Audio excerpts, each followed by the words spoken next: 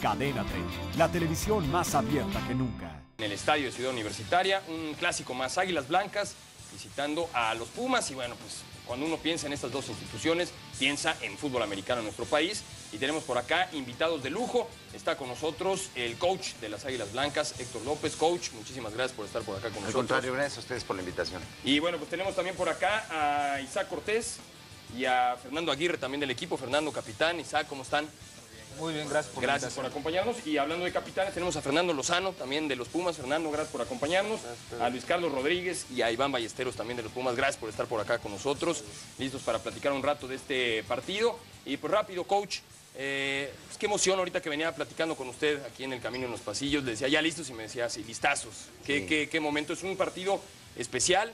Se sabe que no se dan más victorias por ganarle a los Pumas, pero eh, se espera para las aficiones siempre este encuentro. Y en este caso para ustedes que tienen un rato de no ganar a Pumas, pues me imagino que ese saborcito especial de pensar en una temporada, una temporada difícil en la conferencia de los ocho grandes, pero también siempre con esa asignatura hay que ganarle a Pumas.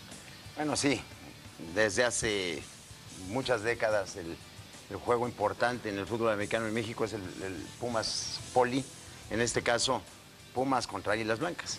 Entonces, nosotros hemos esperado este juego desde hace mucho tiempo.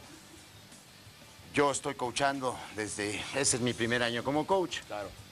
pero sí fui a ver muchos juegos los años anteriores y la verdad salía disgustado porque veía que perdían mis águilas blancas por muchos puntos, ¿no? Entonces yo dije hasta aquí y ahora con la salida del doctor Licea yo busqué ser el head coach de las águilas blancas porque soy un convencido de que se puede, porque soy un convencido de que estos muchachos son muy valiosos, son muy buenos jugadores, mal explotados, mal dirigidos, porque de alguna manera yo creo que se relajó la disciplina, yo creo que eh, estaban mal enfocados en lo que era el objetivo de, esto, yo vi algunas jugadas hasta, hasta de llegar a cañar a alguna persona, pegarle fuera de la jugada, etcétera, etcétera, cuando se pierde el enfoque de lo que es esto, ¿no? Es un deporte donde hay que ir, hay que bloquear bien, hay que taclear, hay que cachar el pase y hay que ganar el juego, ¿no?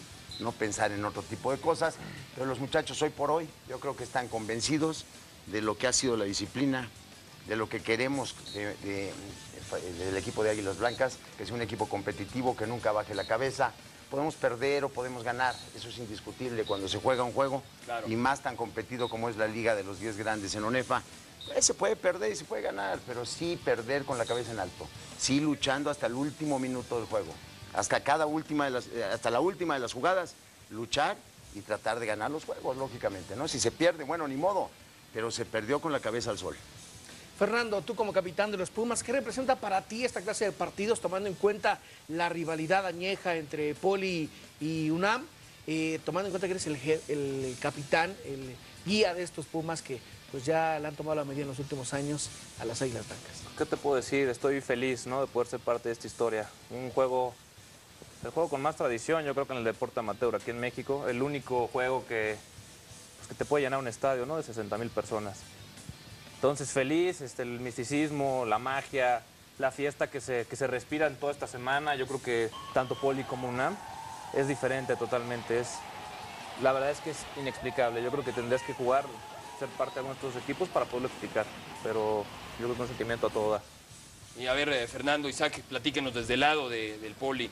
Eh, decía el coach, es un partido que se tiene que ganar, obviamente entendiendo que hay la posibilidad siempre de perder, que enfrente tienen a un eh, muy buen equipo, pero me imagino que el inicio de temporada, con sus complicaciones en los dos primeros partidos, los tiene muy motivados, porque iniciar 2-0, llegar así a este partido, muchos por ahí han dicho, nos habría gustado que este juego se diera un poquito más adelante cuando se podrían definir más cosas, pero siendo sinceros, aquí se pueden definir muchas cosas. A la, larga, este partido en un desempate, tomando en cuenta lo parejos que están los equipos, que, Pum- eh, que Tigres ha empezado bien, que Linces ha empezado bien. Es un partido que obviamente, más allá de lo que es Pumas, Águilas Blancas, pensando en la tabla de posiciones, se tiene que ganar. Sí, es un partido donde llegamos realmente las dos instituciones con 2-0 y bueno, en lo personal y a nivel, y a nivel de, todas las Águilas Blancas es un partido ah, con el que nacemos para jugarlo.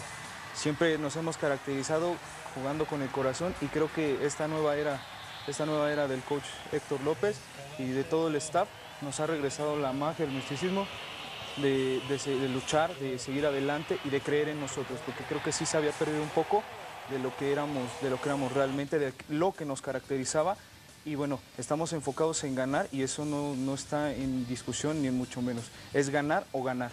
A lo largo de estos cuatro años han, hemos sido víctimas de, de los Pumas, pero bueno, vamos a hacer, vamos a quitar esa racha y vamos a, a pelear hasta el último segundo. ¿no? Eh, es, es una batalla el campo, ustedes hacen todo lo posible por ganar, como dicen, dentro de las reglas, y que el público lo disfrute, que creo que además, como decía Fernando, a mí me parece increíble todavía con eh, el poco espacio que llega a tener a veces el fútbol americano estudiantil en nuestro país en los medios de comunicación y el espacio que se lleva a veces el fútbol, pues el que un estadio como ciudad universitaria vaya a tener un entradón a una hora que además, bueno, pues 10 de la mañana de repente para el fútbol alguien le dicen, vayan a ver fútbol a las 10 de la mañana y dicen, no, no, espera, dos horitas más hasta el mediodía y la gente va a ir, va a apoyar y me parece que es muy significativo que, que esa pasión, esa tradición del fútbol americano estudiantil de nuestro país siga ahí, que un deporte amateur siga generando esta enorme pasión del público.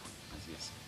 ¿Qué, qué- qué le dirían, ¿Qué le dirían ya para despedirse Yo por tengo último? Un comentario nada más acerca de lo que hablan de la seguridad. Yo te voy a decir algo y yo, el coach no me dejará mentir. Yo llevo cinco años en Pumas. Cinco años ha ido mi familia a ver el clásico. Nunca ha pasado nada. Nada. Nunca ha pasado nada. Entonces invitar a las familias que vayan, que no tengan miedo, que lleven a sus hijos. ¿Por qué? Porque es un juego, es un juego el cual se llama de familias, que el cual se llama de nuestras familias y que nunca ha habido ninguna bronca. que de repente ya creo yo que es un poco más la, la fama, porque cuando uno piensa en el fútbol soccer, eh, hay más violencia, de repente nos estamos enterando, acaba de hablar el presidente de la liga de que hay que erradicar la violencia y en cambio, pues cuando uno piensa en el partido que ustedes van a escenificar, efectivamente, pues eso ha quedado, ha quedado de lado, la rivalidad no, pero, pero queda el deportivismo que es de lo que se trata. Claro. Sí, hubo, ac- acaba de haber hace dos semanas, ¿no? Hubo un problema ahí, eh, dos o tres semanas que jugaron las Chivas contra El León. Contra el León, hubo un muerto. Viernes anterior. Eso nos pasa a nosotros, es lo que estábamos comentando al entrar aquí. aquí No, y ya- Fernando ya- con ya no los querían muchachos. dejar jugar. Si eso, si eso pasa, jugamos a puerta cerrada los siguientes 20 años, ¿no? Así es. Pero como es Pero el esto- soccer y hay tantos intereses creados ahí, tanto eh, que- poder económico, pues entonces no se habla mucho del tema, ¿no? Yo creo que siempre en una congregación de tanta gente puede haber algún Claro. tipo de problema, pero la verdad es que hay alrededor de no sé cuántos miles de, de- de- de policías va a haber, pero va a haber varios mi- miles ahí cuidando.